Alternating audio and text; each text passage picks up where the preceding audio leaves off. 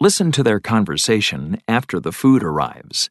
Choose the two items that are missing from the order. Okay, guys, here's the food from City Table. That was quick. Wow, it smells so good. Let's see. Two small pizzas, one sausage, and one with peppers. Thanks. The one with peppers is mine. Okay. And two salads, one with Italian dressing and one with vinaigrette. The one with vinaigrette is mine. Okay. And there's a coffee and an iced tea. The iced tea is mine, and the coffee is his. Um, this has sugar in it, but no cream. Is there any in the bag?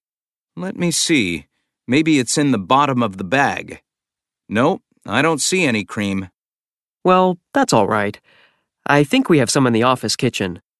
Oh, that's good. And finally, a piece of chocolate cake. That's everything. Oh, but I ordered a slice of blueberry pie. Hmm. It's not on the receipt. Sorry, Sarah. I think I forgot to order it. Oh well, that's okay. Would you like some of my chocolate cake, Sarah? This piece is huge. Really? Thanks, Steven. That's so nice of you.